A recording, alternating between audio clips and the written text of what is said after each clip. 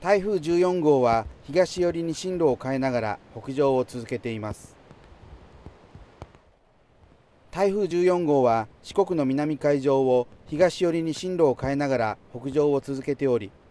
愛南町からは徐々に遠ざかるものの10日にかけて北寄りの風が強く吹き海上ではしけが続く見込みです。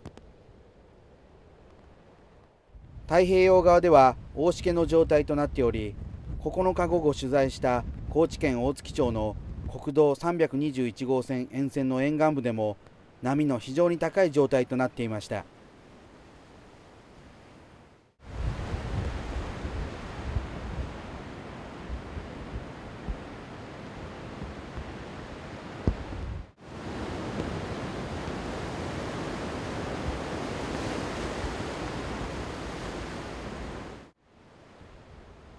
町内でも9日夜遅くまで暴風に